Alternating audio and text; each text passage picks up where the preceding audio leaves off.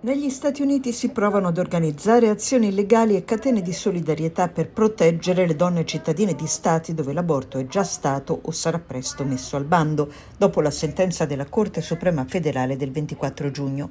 In Massachusetts vibrata la protesta della senatrice democratica Elizabeth Warren, già candidata alla Casa Bianca. La sentenza del 1973, Roe vs. Wade, che tutelava il diritto di scelta delle donne, ha detto è morta.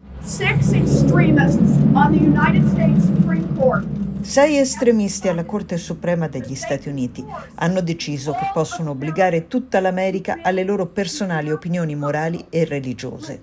Roe è morta, ma gli estremisti della Corte Suprema non avranno l'ultima parola.